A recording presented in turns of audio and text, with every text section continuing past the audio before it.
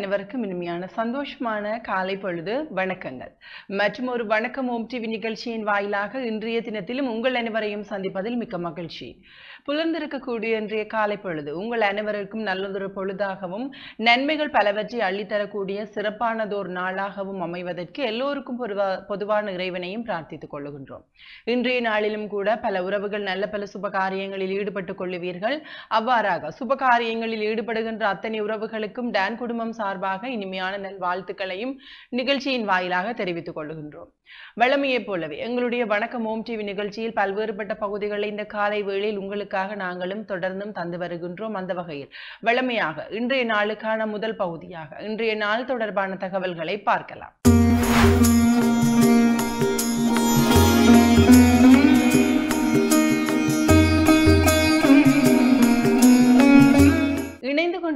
இன்றைய நாள் தொடர்பான தகவல் பகுதியுடன் அந்த வகையில் இன்றைய நாள் இருபத்தி ஏழாம் தேதி ஒன்பதாம் மாதம் இரண்டாயிரத்தி இருபத்தி நான்காம் ஆண்டு வெள்ளிக்கிழமை. தமிழுக்கு குரோதி வருடம் புரட்டாதி மாதம் பதினோராம் நாள். தொடர்ந்து இன்றைய நாளுக்கான நல்ல நேரங்களை பார்க்கலாம். இன்று காலை ஒன்பது பதினைந்து மணி தொடக்கம் பத்து பதினைந்து மணி வரையிலும் மாலை நான்கு நாற்பத்தைந்து மணி தொடக்கம் ஐந்து நாற்பத்தைந்து மணி வரையிலும் காணப்படுகின்றது. அதனைத் தொடர்ந்து ராகு காலமானது காலை பத்து முப்பது மணி தொடக்கம் பன்னிரண்டு மணி வரையிலும். எமகண்டமானது மூன்று மணி தொடக்கம் தொடக்கம் நான்கு முப்பது மணி வரையிலும் காணப்படுகின்றது. அதே நேரம் சூரிய உதயமானது அதிகாலை ஆறு மணி மூன்று நிமிடம் அளவில் இடம்பெற்றிருக்கின்றது.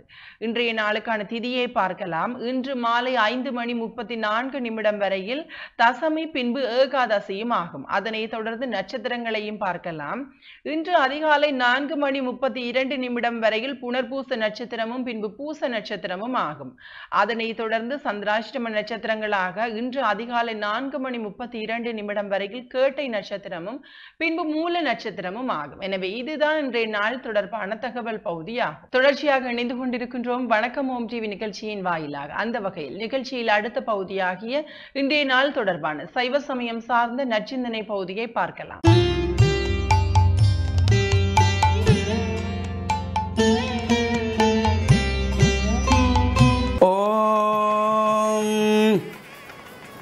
கஜானனம் பூதகணாதிசேவிதம் கவிர்த்தயம் பூபலசாரபக்ஷிதம் உமாசுதம் சோக விநாசகாரணம் நமாமி விக்னேஸ்வர பாதபங்கயம் ஓம் நமச்சிவாய மேன்மைகள் சைவநீதி விளங்குக உலகமெல்லாம் நோயற்ற வாழ்வே குறைவற்ற செல்வம் அந்த நோய் நொடி இல்லாத வாழ்வு இந்த உலக மக்கள் எல்லோரும் வாழ வேண்டும் என்று கலியுகத்தின் காந்தமலை ஜோதியாகிய சபரிமலை சுவாமி ஐயப்பனுடைய திருவடிகளை சிறந்தாழ்த்தி டேன் தமிழொலி ஓம் தொலைக்காட்சி நேயர்கள் அனைவருக்கும் சர்வதேச இந்து மத குறிப்பிடம் அகில இலங்கை சபரிமலை ஸ்ரீ சாசாபுரத்தின் சார்பில் நல்லாசிகளை கூறிக்கொள்வதில் மன மகிழ்வு கொள்கிறோம். இன்றும் மங்களகரமான குரோதி வருஷம். புரட்டாதி மாதம் பதினோராம் நாள். இருபத்தி ஏழு ஒன்பது ரெண்டாயிரத்தி இருபத்தி நான்கு வெள்ளிக்கிழமை. இன்று மலர்ந்திருக்கின்ற இன்றைய பொழுதும் நம் எல்லோருடைய வாழ்விலும் எல்லா விதமான சிறப்புகளும் வெற்றிகளும் கிடைக்க இறையருளும் குருவருளும் பூர்ணமாக நிறைய வேண்டும் என்று பிரார்த்தித்து இன்று சுக்ரவாரம் என்கின்ற வெள்ளிக்கிழமை. நாம் இந்த வெள்ளிக்கிழமைகளிலே ஆசார சீடராக ஆலயங்களில் சென்று வழிபாடுகள் செய்து பிரார்த்தனைகள் செய்து இறைவனுடைய திருவுரையெல்லாம் பெறுகின்ற வகையிலும் அவ்வாறு நமக்கு ஆலயத்துக்கு செல்ல முடியாவிட்டால் வீட்டிலே சுவாமி அறையிலே மஞ்சள் தண்ணி தெளித்து சாம்பிராணி தூவமிட்டு தீபங்களை ஏற்றி வைத்து வளவிலே மலர்கின்ற மலர்களை பறித்து சுவாமி படங்களிலே வைத்து பிரார்த்தனைகள் செய்கின்ற பொழுதிலும் எல்லா விதமான சிறப்புகளும் லக்ஷ்மி கலாட்சமும் கிடைக்கக்கூடியது. நாளைய தினம் இந்த புரட்டாதி மாதத்திலே வருகின்ற சனிக்கிழமைகளிலே இரண்டாவது சனிக்கிழமை. இந்த புரட்டாதி சனிக்கிழமை என்றதுமே நாம் எல்லாம் ஆலயங்களிலே சென்று பிரார்த்தனைகள் செய்வது சனீஸ்வர பகவானுக்கு எள்ளெண்ணெய் தீபங்கள் ஏற்றி வைப்பது எள்ளு சாதம் நிவேதனம் வைப்பது இதையெல்லாம் தொடர்ச்சியாக செய்திருந்தோம். இப்போ நமக்குள்ளே ஒரு வினா எழும். இப்போ எனக்கு அட்டமத்தி சனி இருக்கிறது. அல்லது அர்த்த அஷ்டமத்தி சனி நாலாம் இடத்திலே சனி இருக்கிறது அல்லது ஜென்மத்து சனி இருக்கிறது அல்லது ஏழரை நாட்டு சனி நடக்கிறது. நான் இந்த எள்ளெண்ணெய் தீபம் ஏற்றி சனீஸ்வர பகவானை கருங்குவளை மலர்களாலே அர்ச்சனை வழிபாடுகள் செய்தோ அல்லது வன்னிபத்திரத்தினாலே அர்ச்சனை வழிபாடு செய்தோ அல்ல காக்கைக்கு எள்ளிச்சாதம் வைத்தாலோ இந்த தோஷம் நீங்கி விடுமா? என்ற ஒரு வினா எல்லோருக்கும் இருக்கும். இது எள்ளெண்ணெய் தீபம் ஏற்றுவதனாலே அட்டமத்தி சனி தோஷம் நீங்குமா? ஏழரை நாட்டு சனி தோஷம் நீங்குமா என்றால் தோஷம் நீங்காது. அது நாம் அனுபவித்தே தீர வேண்டும். அவனுடைய தாக்கங்கள் குறைவடையும். இந்த சனீஸ்வர பகவானை வேண்டி நாம் இந்த பிரார்த்தனைகள் செய்கின்ற பொழுது எள்ளெண்ணெய் தீபம் ஏற்றி வைக்கின்ற பொழுது அவர் மனம் மகிழ்ந்து அந்த தாக்கங்கள் குறைவாக இருக்கும் இப்போ பொதுவாக மழை பொழிவது என்பது இயற்கை. அது காலத்தின் கட்டாயம். இந்த மழை பொழிகின்ற பொழுது நாம் குடைபிடித்துக் கொள்கிறோம். ஏன் குடைபிடித்துக் கொள்கிறோம்? எங்களுடைய தலை உடம்பு நனையாமல் இருப்பதற்கு குடைபிடித்துக் கொள்வோம். குடைபிடித்து கொண்டதினாலே நான் நனையாமல் இருக்கிறேன் என்பதனாலே மழை நின்று விட்டது என்று அர்த்தமல்ல. இந்த மழையினுடைய தாக்கம் நேரடியாக எனக்கு படாமல் குடை மூலமாக நாம் குடைபிடித்துக் கொள்கிறோம். குடைபிடித்ததினாலே மழை நின்று விட்டதா என்றால் இல்லை. மழை பொழிந்து கொண்டிருக்கிறது. என்னுடைய தலை நினையாமல் உடம்பு நினையாமல் நாம் குடைபிடித்துக் கொள்ளுவோம் அதுபோல இந்த சனீசனுடைய தாக்கம் குறைவாக இருக்கும். தோஷம் நீங்குவதென்பதல்ல. தாக்கம் குறைவாக இருக்கும். எனவே நாம் இந்த பிரார்த்தனைகளிலே ஈடுபட்டு இவ்வாறு பிரார்த்தனைகளை செய்கின்ற பொழுதும் ஏனென்றால் பொதுவாக சொல்வார்கள் சனியைப் போல கொடுப்பவனும் இல்லை சனியைப் போல கெடுப்பவனும் இல்லை என்று. இந்த சனி பகவான் இந்த கிரகங்கள் ஒன்பதுக்குள்ளும் ஈஸ்வரன் என்ற ஒரு அடைமொழி கொண்டவர் இந்த சனி பகவான் மட்டும்தான். சனீஸ்வரன். மற்ற எல்லா கிரகங்களையும் நாங்கள் பேர் சொல்லுவோம். ஆனால் சனி என்று யாரும் பேர் சொல்வதல்ல. சனீஸ்வரன் சனீஸ்வர பகவான்.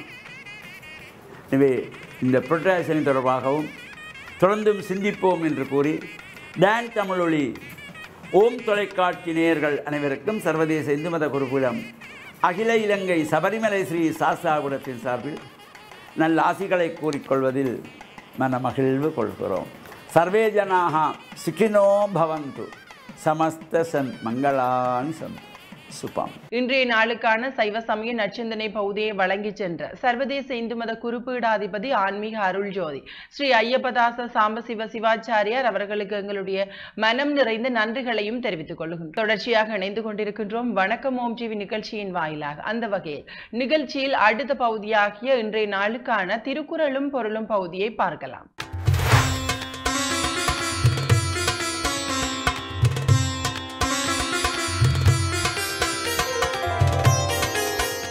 இணைந்து கொண்டிருக்கின்றோம் இன்றைய நாளுக்கான திருக்குறளும் பொருளும் பகுதியின் வாயிலாக. அந்த வகையில் இந்த காலை வேளையில் ஒவ்வொரு திருக்குறள்களை நாங்களும் நீங்கள் சிந்திப்பதற்காக கூறி வருகின்றோம். அந்த வகையில் இன்றைய நாளுக்கான திருக்குறளை பார்க்கலாம். அகனமர்ந்து செய்யாள் உறையும் முகனமர்ந்து நல்விருந்து ஓம்புவானில் என்பதுதான் இன்றைய நாளுக்கான திருக்குறளாக காணப்படுகின்றது. மீண்டும் ஒரு முறை திருக்குறளை பார்க்கலாம்.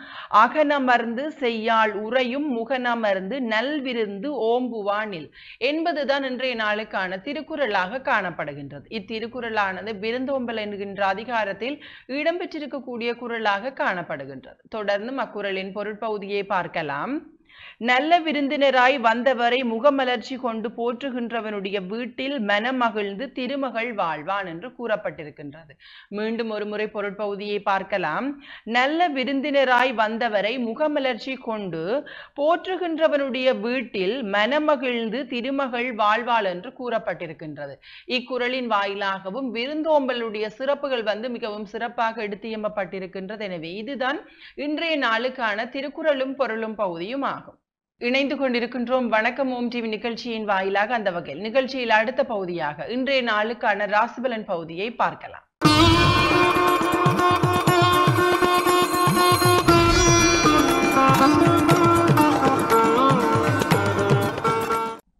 கொண்டிருக்கின்றோம் ராசி பலன் பகுதியின் வாயிலாக. இப்பகுதியில் பன்னிரண்டு ராசிகளுக்குமான பொது பலன்களை பார்க்கலாம். முதலில் மேச ராசியினருக்கு நிம்மதி நிறைந்ததோர் நாளாக காணப்படுகின்றது.